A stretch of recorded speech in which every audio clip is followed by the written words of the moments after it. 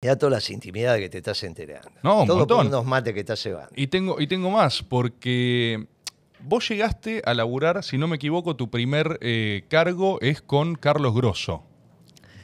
El primer cargo que tengo en el Estado es con Curia. Ah, antes. Unos meses antes, porque yo hago parte del grupo que hace el plan de convertibilidad, que no es de Caballo. El plan de convertibilidad es de Curia, secundado por Chaliú, que es uno de los compañeros que, que hacemos, que, que economista, secretario de Comercio, que está en el, en el espacio de principios y valores. ¿Vos estuviste en el diseño de la convertibilidad? Bueno, era un economista muy joven. El, el factotum es Curia. Eh, hay alguien por ahí que todavía está, que es Luisito Rapaport, que a veces escribe en Clarín, pero bueno, me parece que está más cerca del PRO. Y nosotros éramos los economistas jóvenes, los que empujan el lápiz.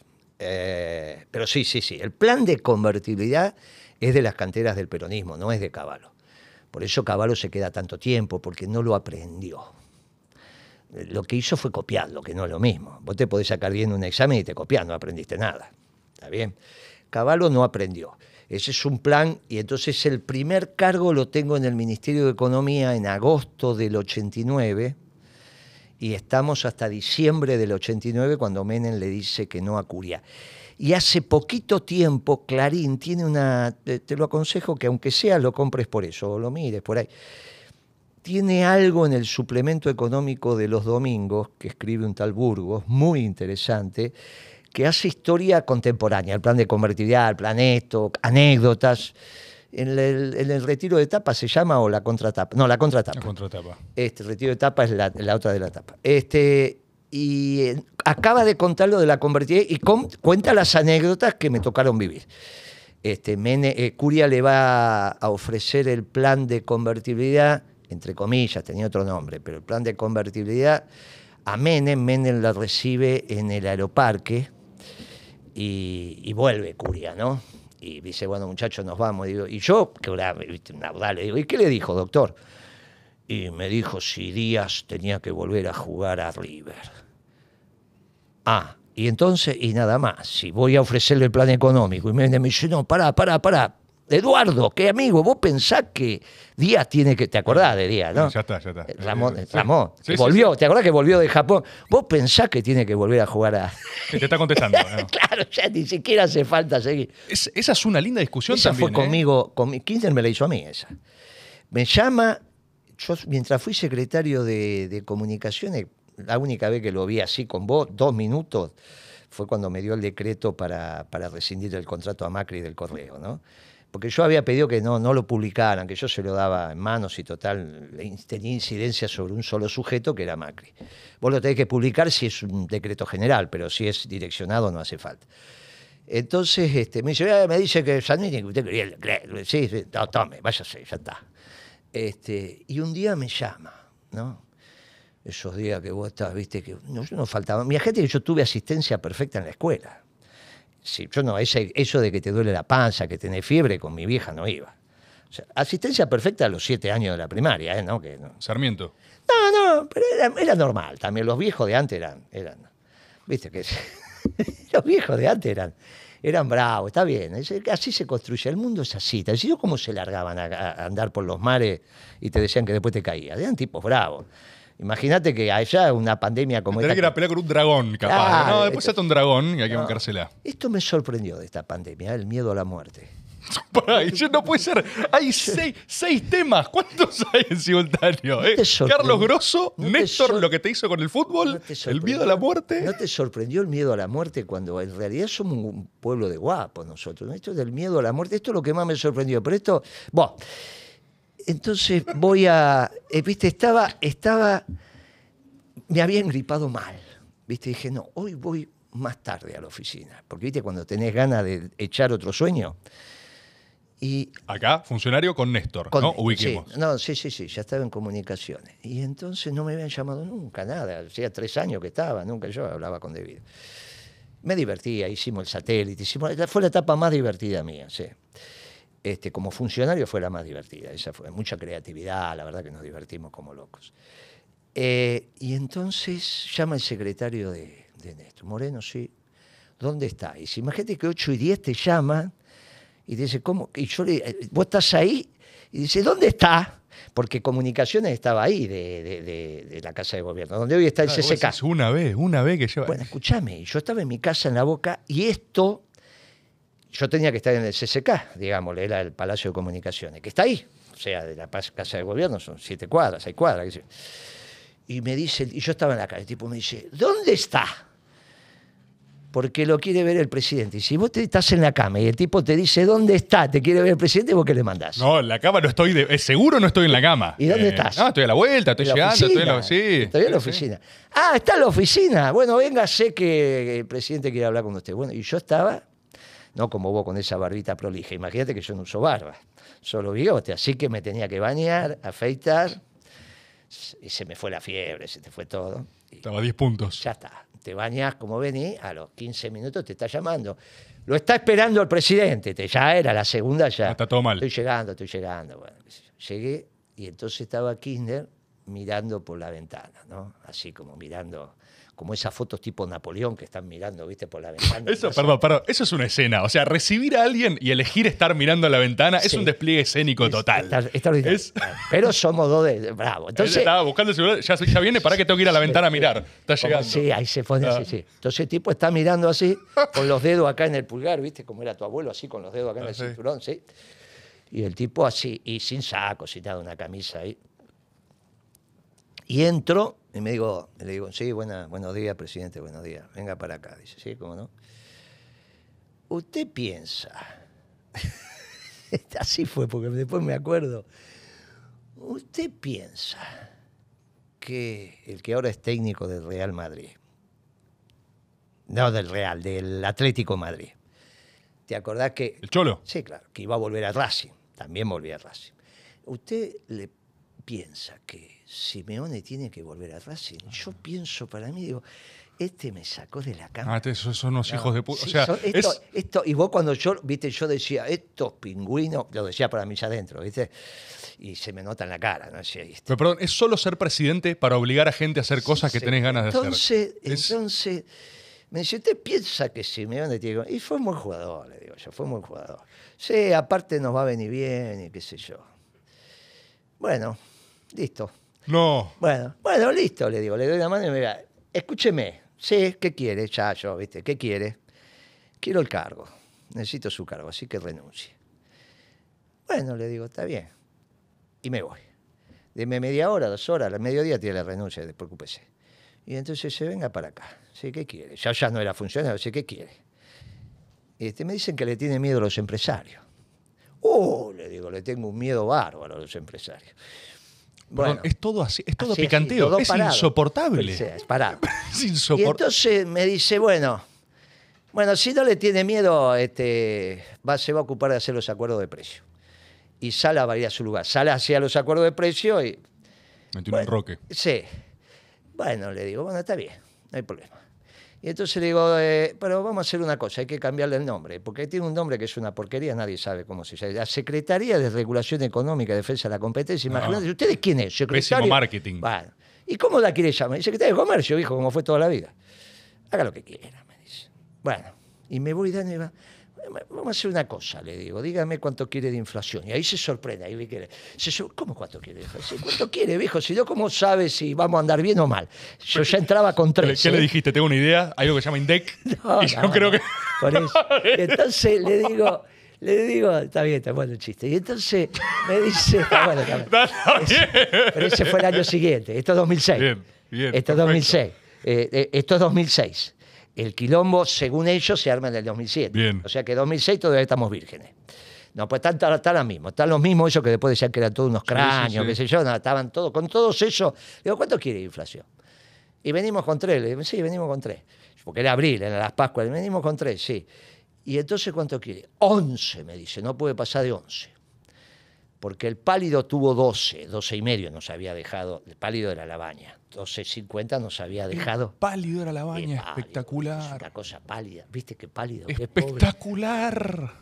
Y encima apareció con, sojete, con soquete después, ¿viste? Espectacular. No, Yo lo banco con sus sandalias y medias, ¿eh? Lo banco a morir, pero el pálido. a la noche, Vos 19 años y te viene pálido y con soquete. No, dejate de joder. Dejate de joder. Bueno, pero no importa, yo lo quiero la baña eh, y lo respeto. Entonces, me dice, el pálido nos dejó 12.50, así que tiene que ser menos de 11. Bueno, así será, y me voy. Cuando llego a la manija de la puerta, me dice, venga, ¿para qué? ¿Qué quiere? Le digo ahora. Me dijo muy rápido que sí a 11, que sea 10. ¿Cómo no, viejo? Será menos de 10. No, no, no y le ser. clavé 9.8. Con el index de esto, de estas chantas que estaban dando vuelta por ahí. ¿no? Impecable. Le clavé Pará, y 9.8. ahí vas con 9-8 y esa. ¿Cómo es esa? Ahí tiene que haber una reunión hermosa. Ahí hay un intercambio que es. Lo que pasa es que yo le había dicho, mire que esto sirve para uno o dos años.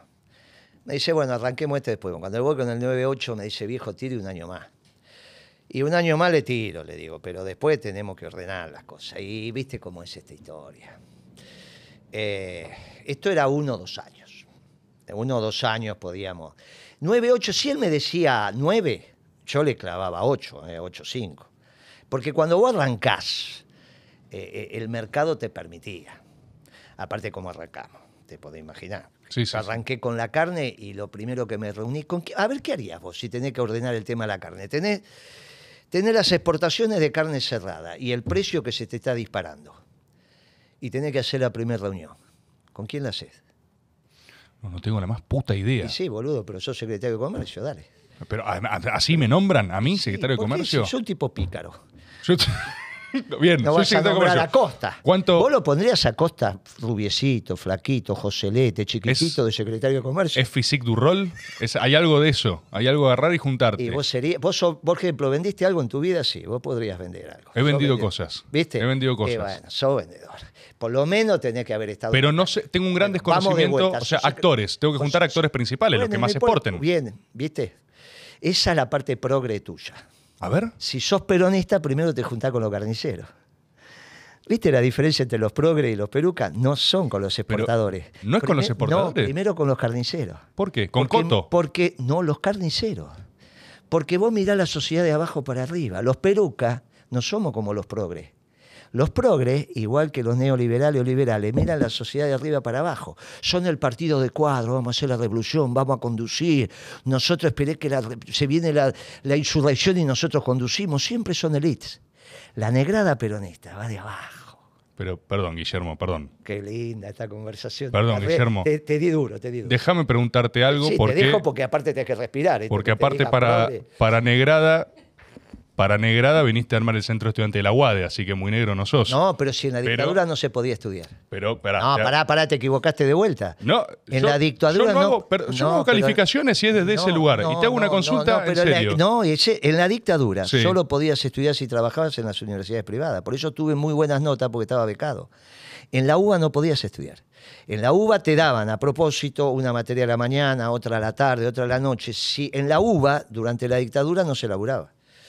Si vos eras laburante, yo ya tenía la familia, empecé, volví a estudiar a los 25. Vos decís que era clase popular de la UADE. Inexorablemente. Entonces fue, dijo, si es buen alumno, lo becamos. Y tuve 9.50. Me parece bien. Pero te hago una consulta. No, la negrada es negrada. Yo soy negrada de verdad. Realmente, yo no soy secretario de comercio, de economía no caso un fulbo. ¿Y qué tiene que ver?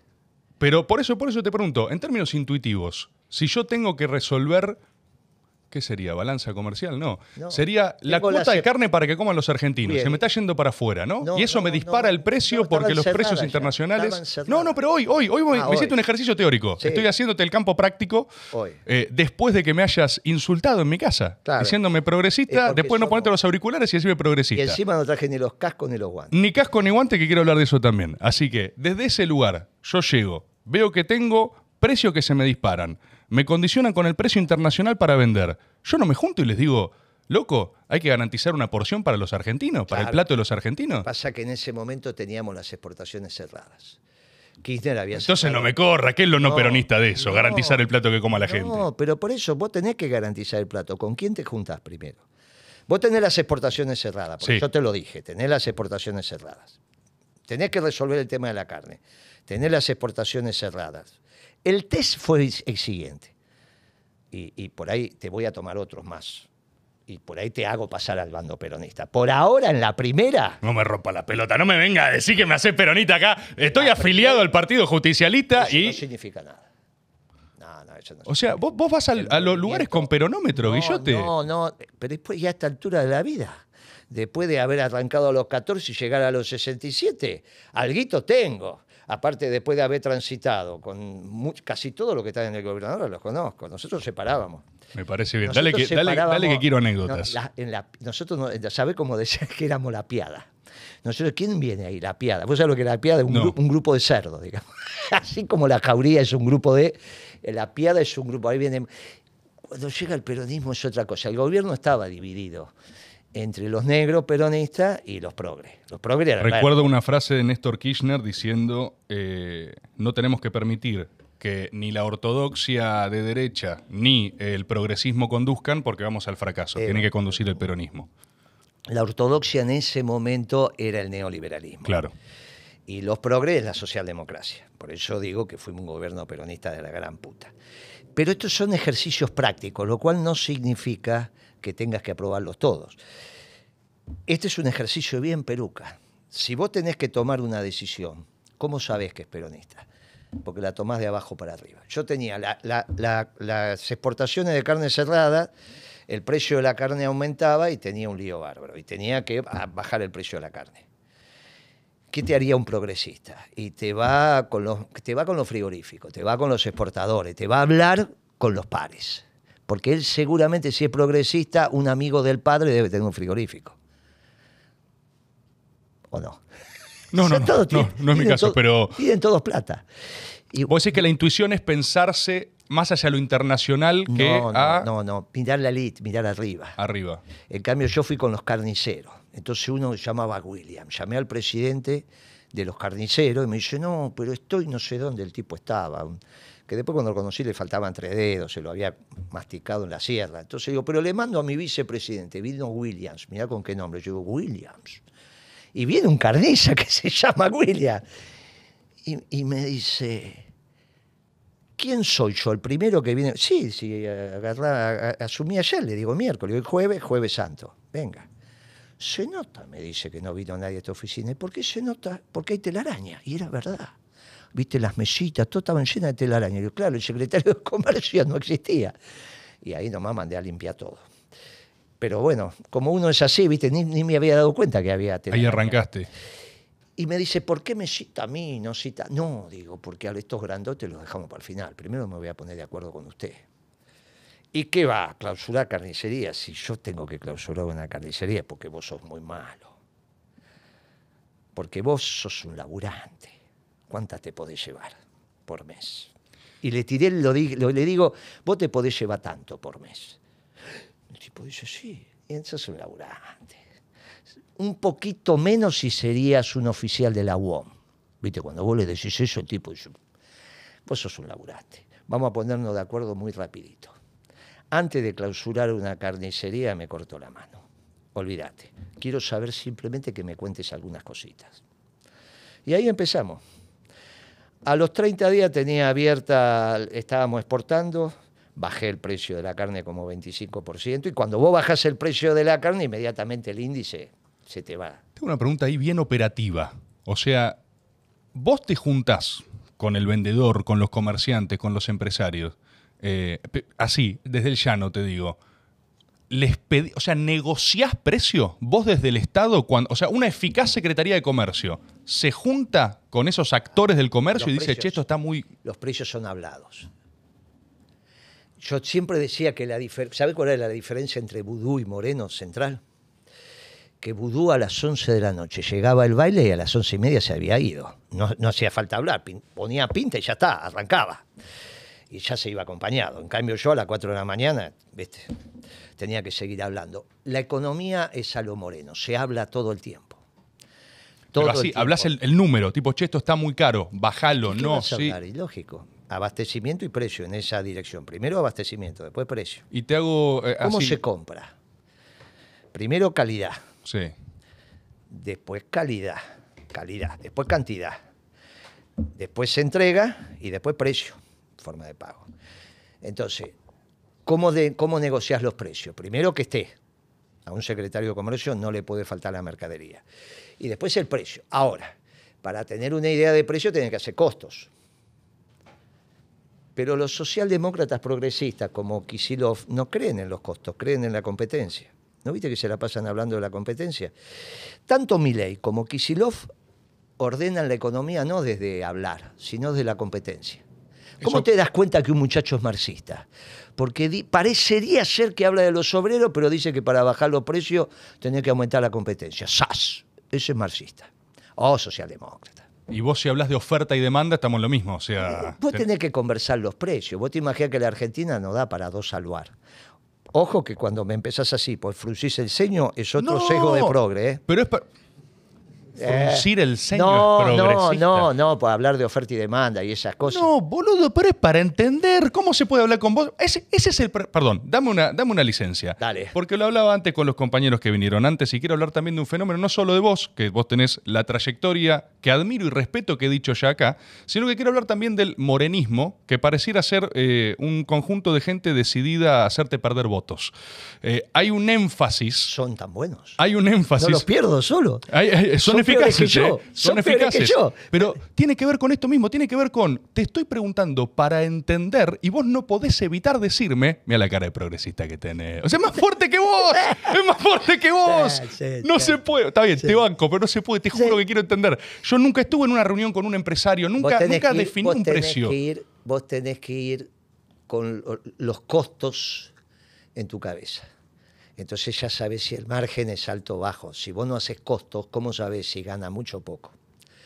O sea, te estás llevando tanto, le decís, es mucho, dejate de Claro, joder. ¿Y cómo lo sabes? Porque hiciste costos. Kisilov no hace costos. ¿Y qué te dice Kisilov, por ejemplo? Y qué competencia. ¿No lo escuchaste en el reportaje con Fontevecchia? Que tenés que armar más. Ahora, o sea, yo te estoy educando. ¿Por qué no me dejas que te eduque? Cada vez que cometés una gaf pro- progre, te lo marco y cambiás. Y ya no sos más progre. Guillermo, capaz estamos hablando, no me ¿Y estás educando. Ese, Si un peronista educa todo el Es tiempo y todo el tiempo. Es, es hablar con un.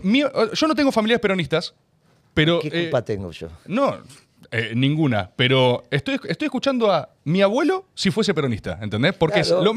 Todo el tiempo. Estamos nosotros enamoramos todo el tiempo. Entre varones concientizamos. Escúchame. Esto había arrancado, esta invitación a la locura, arrancó por una pregunta de Carlos Grosso, que nunca pude hacer. Fue el segundo. El primero fue Curia. El primero fue Curia. Te quería hacer una pregunta. Yo no conozco a Grosso, nunca hablé con él, pero sí me preocupa mucho el peronismo porteño porque me parece malo, ineficaz. Y mucha gente me ha hablado de Carlos Grosso como eh, el último caudillo peronista. Fue el último jefe de la capital. La, la- la capital tenía presencia con Grosso. Después de ahí no hubo más dirigentes de la capital. Y vos laburaste con eso. ¿Te consta eso también? Sí, Vos, eh, era un muchacho que eh, fue, fue de la tropa de Macri, trabajaba ahí, hacía cosas, igual que de la Sota, Bordón, Schiaretti, son de la tropa de Macri padre, estamos hablando, no, no de este. Este tipo interesante, muy interesante, muy inteligente. Y fue el último jefe del peronismo porteño, indiscutido. Y vos de ahí ya entramos en esta etapa. Hablaste ya un poco de la etapa lo- de Néstor se con lo, lo- eh, lo- lo manda, lo manda al muere Menem. Claro, lo liquida Menem. Sí, lo liquida Menem. En un error que comete Valdés, este Eduardo Valdés que está dando vuelta, porque cuando Menem lo elige para presidente, lo elige para intendente a Grosso, se van a cenar esa noche, hacen una cena, yo ahí no estuve, pero el gordo Valdés, que es Bocón, brinda por la- el futuro presidente Carlos Grosso. Y vos imaginate a Menem decirle Tiró. lo aguantó y en cuanto pisó el charco dijo los zapatos sucios, chao. Uy, no sabía esa. Se Eh, la a preguntar. O sea, lo. y ¿A Grosso- Eduardo? Sí. Preguntáselo, sí, es muy bocón. El futuro presidente. Sí, es famosa esa anécdota entre nosotros, sí, sí, sí. sí. Y, ahí, y ahí lo mandó, a- lo mandó abajo. Menem lo reventó después. Ese era un grupo, ¿quién era? Argüello, el que ahora es embajador, y Valdés eran lo, de alguna manera el, grupo más cercano a, a Grosso. Eh, después venía algo llamado el FUP, que era Vaca. Toma, que tenía una agrupación también. Y después había secretarios generales de unidades básicas, que éramos secretarios generales. Yo tenía una en la 17, en la cañita, una cosa de loco. Ya etapa funcionario, porque me, hablaste de Néstor y me empezaste con anécdotas, y yo, yo necesito, necesito saber, eh, y ya, ya hablaste casco guantes también, y es verdad que habría que haber traído. Esa vez, que para mí es legendaria el casco guantes, ¿cómo? Me, me interesa de lo personal. Hay un despliegue escénico ahí. Hay un plan. Vos el día ese decís, pará, voy a hacer esta. ¿Con quién lo eso hablas? no, con nadie. Con nadie. Solamente se entera el que lleva, el que lleva la bolsa. El, el que lleva la bolsa del mundo del juguete. Que no sé, si hay un video largo lo ves entrar con la bolsa de. Ah, ¿sí? Sí, sí. La bolsa es el mundo. ¿Te acuerdas del mundo del juguete? Creo que Sí. no está más. Una bolsa muy grande. Y entonces le digo, a, a la mitad de la reunión vos entrás con la bolsa. O sea, había uno con una misión. Era vos. Que era el que andaba al lado mío siempre. el- el- el- bueno, siempre tenés que tener que te atienda el teléfono. Esos cargos tenés, que es un lío bárbaro. Entonces, me dice, y cuando yo llego, me dice, ¿y Antonio? No, no, hoy no viene. Y Antonio, a la mitad de la reunión, entró con la bolsa. Y en la bolsa estaban los guantes de payaso, esos, ¿viste? De... Sí. Y eso, eso es para divertirte. Nadie Eso es sabía. para... Tal es así que al primero que yo le ofrezco casco, que es uno casco guante, yo salgo de atrás. Sí. Y al primero que veo, le digo, casco guante. Y me dice, casco, no, boludo, vos tenés que elegir guante, que eso. Perfecto. Ahí Y no nadie sabía nada. ahí hay algo. Y ahí se empiezan a reír. Los míos se dan cuenta y se empiezan a reír. Y claro, porque es eso. Que, ¿cómo, ¿Y cómo ganas una asamblea que esté, que esté Mañeto y esté toda la plan? Si no, vos tenés que planificar la La perdíamos. La asamblea yo tenía mayoría automática. Claro, es hago algo fuera de la caja Eh, o tenés- nada. eh, claro, tenés que hacer algo que. Y el vedor judicial se divertía. Porque el juez comercial. Habíamos tenido una pelea donde este, en papel prensa vino. Ellos tenían un abogado que era de la AAA. eh, que había sido del comando Mazorca de la AAA. Y se había cargado a Daniel Wiener. Daniel Wiener es un dirigente estudiantil del Partido Comunista Revolucionario. Viste que Beatriz Saldo la escuchás a veces que dice yo fui militante Sí, sí, sí, sí. del Partido PC. Comunista. No, PC ah, PCR chinos. Claro, los chinos. Entonces este es Daniel Wiener, era de ingeniería. Yo estudiaba ingeniería en aquella época. Yo empecé estudiando ingeniería. Y, este, y lo mata, lo mata. Se arma un quilombo bárbaro porque lo confunden con Calimerti. Bueno, se arma un quilombo bárbaro. El- al que matan es este pibe. Y él, lo mata el comando Mazorca de la AAA. Y el abogado de papel prensa era del comando Mazorca. Y nos mirábamos así como con vos. Y entonces nos finteamos y él sabía que era el comando Mazorca y yo que había sido Juventud Peronista. Entonces me dice alguna gilada este, y ahí ve- nos vamos, ¿viste? Vamos, vamos y se arma, se arma un tole tole. En papel prensa. Fue bien, ¿eh? Fue tole tole bien de gente que se la banca sin ningún inconveniente. Viene un auditor de la Nación y yo ya había salido a tomar un poco de oxígeno, porque viste, en el medio de la confrontación, viste, vos tenés que salir, entrar, salir, entrar, ya no te da para estar, viste, peleando. Entonces salgo a tomar y el tipo me dice, perdón Moreno, y me muestra la tarjeta y me dice, auditor del diario La Nación. Le digo, ¿cómo no, doctor? Pero espere un poquitito, que tengo que resolver cosas adentro. Y, entonces- y entonces el juez dice, el juez nos llama a todos y dice, pero no, dice, la- no pueden ser así las reuniones, por favor, tenemos gente lastimada. Y había dos. Este, él- O sea, lo que lograste es que se agarren a piñas toda una asamblea entonces- de. No, no, era una reunión de directorio, una cosa. Y entonces, pero estuvo bien. Después vinieron, vinieron, bueno, no importa. Y entonces, pero bien, no, no, no, nadie se quejó ahí. Salvo que uno eh, quedaron dos, heri- dos lastimados. Uno fue a Canal 3 y dice, no, porque hoy nos peleamos y mire lo que pasó y qué sé yo. Y otro de los nuestros fue a C5N. Y también, no, mire, está un lastimado de cada lado, ¿no? Heridos. Heridos, heridos en combate. Y entonces este, eh, va el juez y dice, no, muchacho, no, no podemos tener heridos así, esto no puede ser, así no. La próxima vez que no haya heridos, dice el tipo. Bueno, en algún punto igualás también, porque lo- te tenés a, a- a ellos también agarrándose a piñas. Todos son un papelón. Todo, o no, yo me estoy divirtiendo como loco. Y entonces, este, ah, ya sé cómo fue esto, por qué fue. Porque este me había hecho, ¿te acuerdas cuando me metieron en un ataúd con un balazo en la frente? ¿No te acordás de esa? Eso, pibe. vos. Empezó a circular, a buscarla por ahí está, la foto de Moreno en un ataúd. así, Ah, ¿no? te hicieron un. Sí, me pusieron a mí así y un balazo acá, ¿no? Y entonces, eh, viste, yo mi hija era esa modernosa, que no, que la, que mi nieta no mira televisión. Está bien, ahora ya, pero cuando la estaba criando no miraba televisión, viste esas cosas modernas. De Ah, mirá. Ahí está. Ese. Ese, ese, ahí está, mira. Y entonces. eh, regimenk.blogspot.com. Buenísimo. y entonces, escúchame, este, la ponen en la televisión. Y mi hija cocinaba, esas co- casas como esta, desde la cocina ve dónde está el televisor y qué sé yo, y ve a mi hija, a mi nieta, qué sé yo, la chiquitita sentada mirando así, ¿no? Claro, no. Y entonces se acerca mi hija con el y ve eso en la televisión así, ¿no? Esa foto ahí. Y entonces mi nieta dice, el abuelo.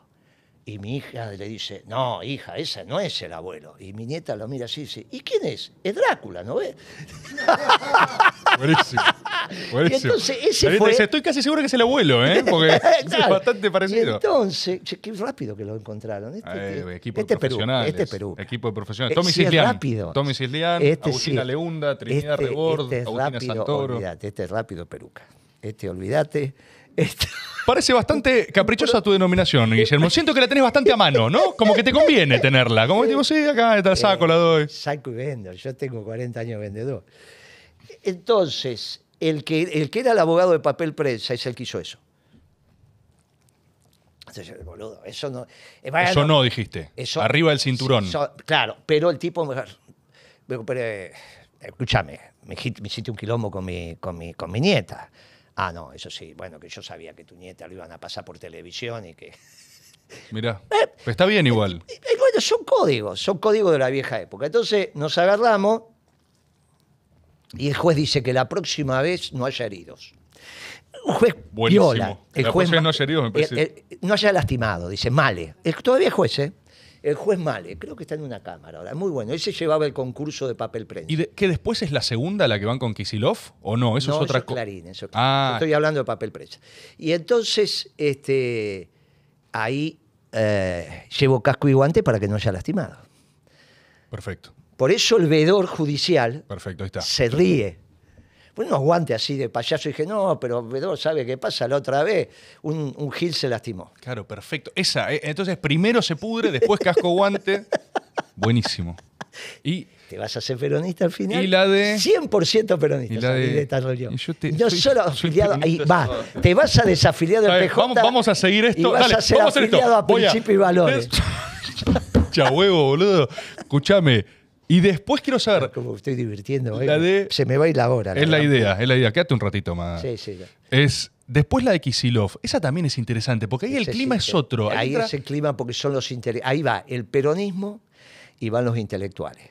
Ahora habla el peronismo, viste que Kicillof está con, siempre con la lapicera en la boca, como si fuera un estudiante. ¿te Pero ahí, vos- ahí vos tenías que hacer tándem con Kisilov. Por más que ahora digas otra cosa, antes de hablar tenés que ponerte de acuerdo. Tipo, vamos a hacer esto, No, Axel. Pero ¿O por- cómo es? No, pero ¿cómo no vas a hacer tándem? El problema es que él me dijo que era marxista. Y yo con los marxistas puedo tener diálogo, igual que con los liberales. Con ¿qué los que no puedo tener diálogo con los socialdemócratas. Y con los Pero neoliberales. para, para, para. Axel te dijo que vos eras marxista. No, que él era marxista. Ah, que él era marxista. Claro, y yo los marxistas los respeto, y los liberales también los respeto. El peronismo siempre tuvo diálogo con los marxistas y con los liberales. Y no tiene diálogo con los neoliberales y con los socialdemócratas. Ok. Este es el problema, es un problema porque el tema pasa por el trabajo. Para un marxista el trabajo ordena, después se mete con la propiedad privada, hace un montón de estupideces, son ateos, todas esas pavadas que no tienen que ser. No entienden cómo es la vida, pero en la parte económica Tenés puntos de acuerdo, puedes hablar. es el trabajo. Viste que Perón decía, gobernar bien, ¿qué es? Crear trabajo. Los liberales, los viejos liberales argentinos, entraban a la fábrica a las 4 de la mañana, a las 5, a las 6, creaban trabajo. Con esos tipos después, después se la quieren llevar toda. Y entonces dicen, no, para un poquito, repartirla un poquito.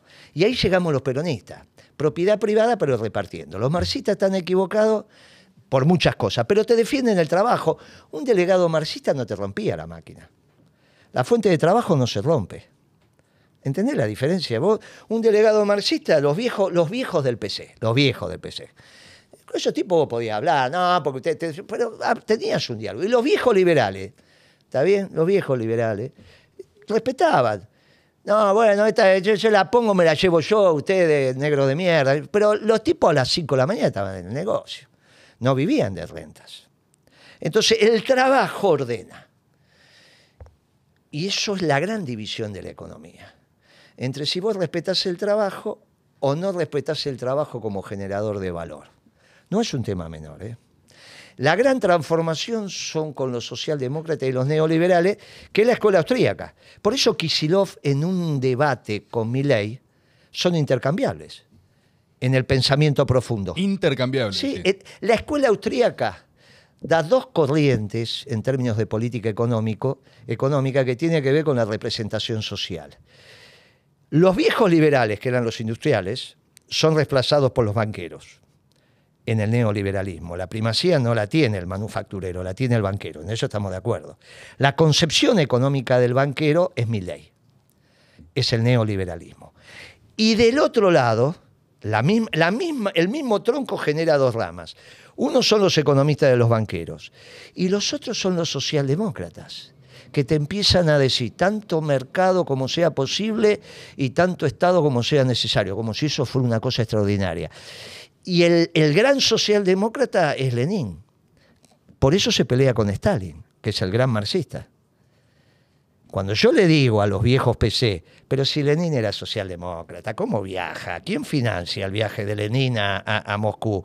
¿A dónde participa? ¿En qué internacional se hace conocido Lenin?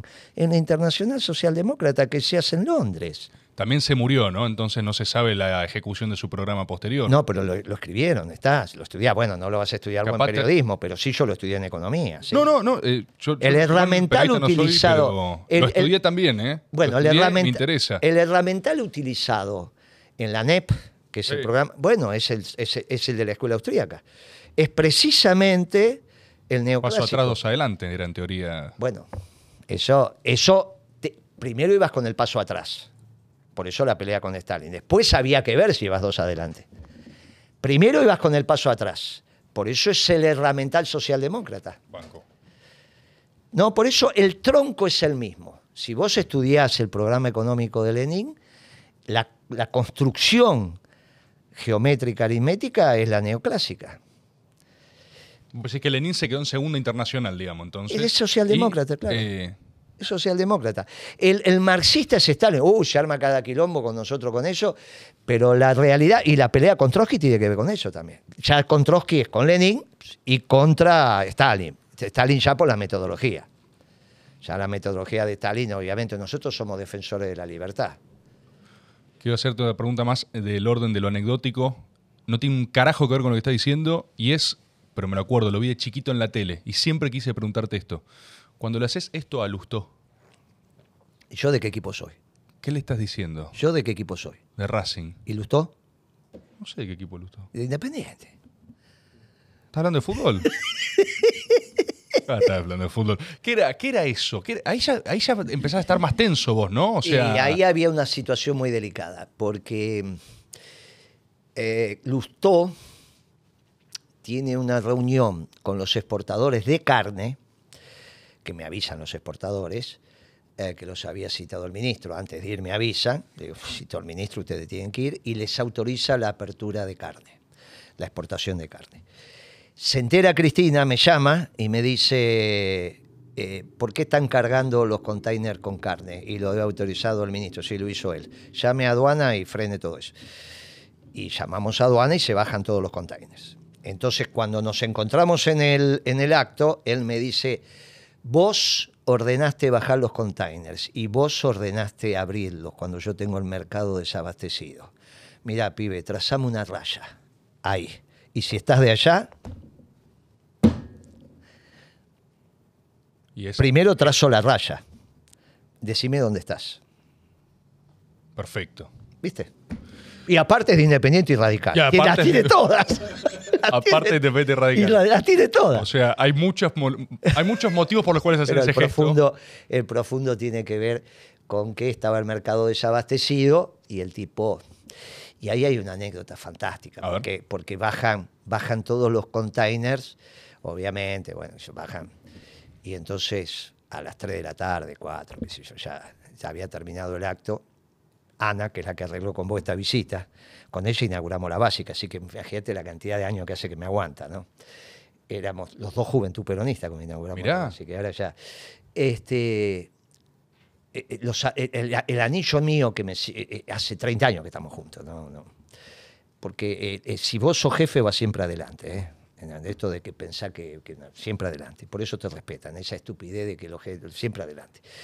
Entonces, este, me, llama Ana y me dice, mira, hay unos muchachos que quieren que hablar con vos. ¿Qué quieren? ¿Son de la carne? No, ahora no. viste, estaba, me dice, mirá, Guillermo, están todos sucios.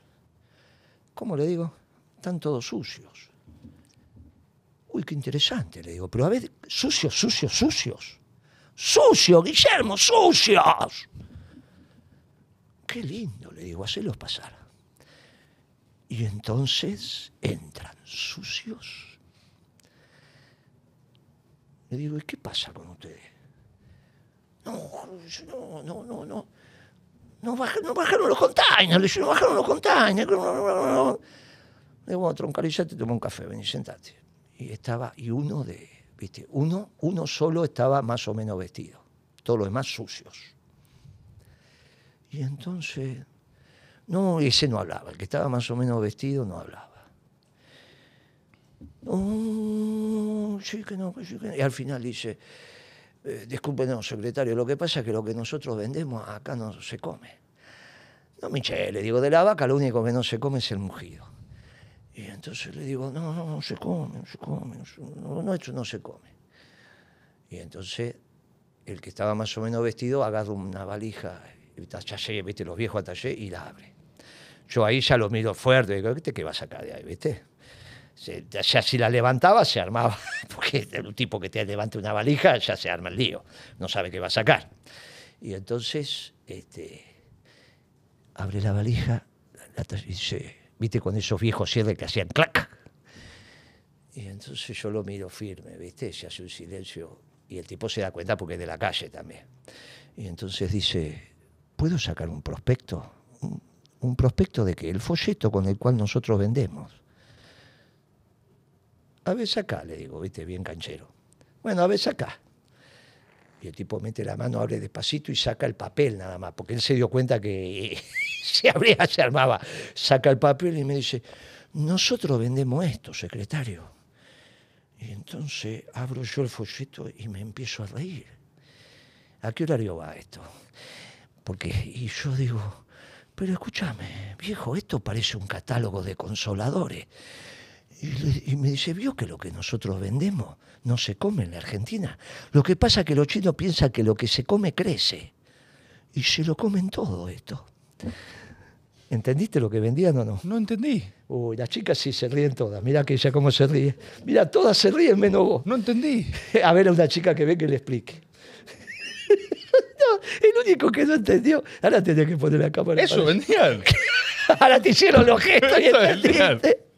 Pero hay lugares donde comen eso, boludo. No, que... lo- lo ju- lo- pero el, el- no, eso no. Y encima te los ponían Lo parados. puedes exportar. Así que eran Se de todo- exporta eso. Escuchame, de acuerdo al tamaño del animal es como nosotros, de acuerdo al tamaño. ¿Viste por qué fracasó Menem cuando importó los profilácticos? ¿Te acordás vos que no? No, no tengo idea, no. Y porque los trajeron de Taiwán. Son todos muchachos de 60 kilos, a vos no te entra. Ok. Y acá los argentinos Ah, somos otra cosa. Dios. Este método es espectacular. ¿Qué pasó? Te quedaste con ganas de ver el video completo, ¿no? Bueno, ¿por qué no te suscribís al método? Accede a todos los videos completos y los clips también, como este, con el cual entraste y del cual nunca más saliste.